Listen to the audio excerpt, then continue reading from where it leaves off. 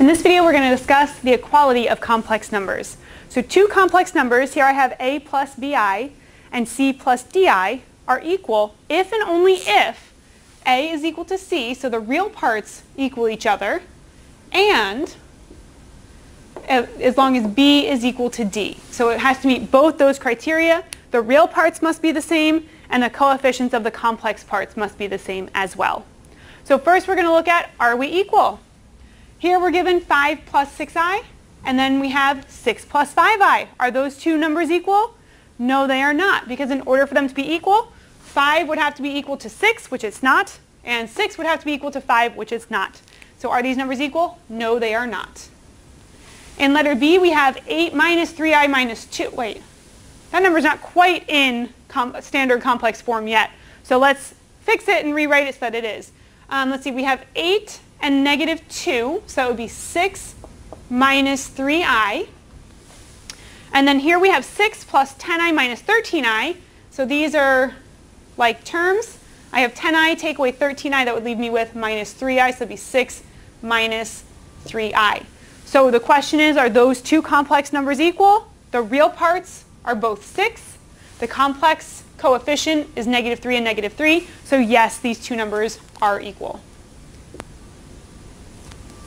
In the next portion, we're going to find the real numbers a and b so that the equations are true. So we're going to force these two numbers to be the same, to be equal complex numbers. That means that the real part here has to match the real part here, which means a must be negative 2. And the coefficient of our complex part must equal the coefficient of our complex part, so b must equal 3. So if a is equal to negative 2, that would leave me with negative 2 plus, and then b is 3, 3i. Does that match what we have here? Yes, it does. So the answer would be right here. a is equal to negative 2, and b is equal to 3. Our second example is a little more involved here. So again, in order for two complex numbers to be equal, the real parts must match, and the complex parts, parts must match. Our real part here is a minus 4. So a minus 4 must equal 3. Now we need to figure out the value of a, so we're going to get a by itself by adding 4 to both sides. We would get a is equal to 7. Okay, so we know a is 7. Now what's the value of b? Well, the coefficient of the complex part here is b plus 5, so b plus 5 must equal the coefficient of the complex part over here, which is 2b. This time we need to get the b's on one side and we need to move the, uh, the 5 or do something. Because this is all by itself, I'm going to take away b from both sides.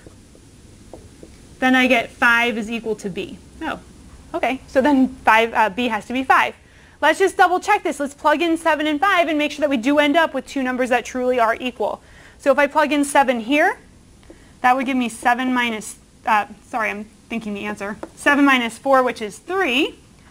Then plus b is 5, so it would be 5 plus 5i. That would be plus 10i. Over here, so does this equal? Let's put a question mark. There is no a to plug into, so we're just going to say 3. So the real parts so far look good. How about the imaginary parts? We're plugging in 5 for b. That would be 2 times 5, which would be 10. So we get 10i, so we get 3. The real parts match and the imaginary parts match. So let's review the answer was a equals 7 and b is equal to 5.